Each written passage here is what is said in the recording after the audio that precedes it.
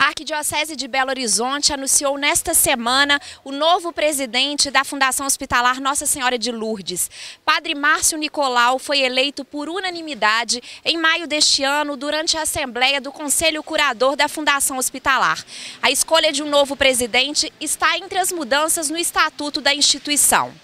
Para a nova gestão, o Conselho apostou na vasta experiência de Padre Márcio para suceder o ex-presidente Dom Valmor.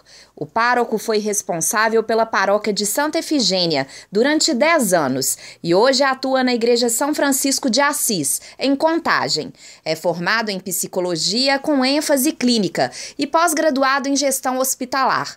Além disso, a trajetória do padre inclui o cargo de superintendente do Hospital Nossa Senhora de Lourdes, cadeira ocupada por oito anos consecutivos.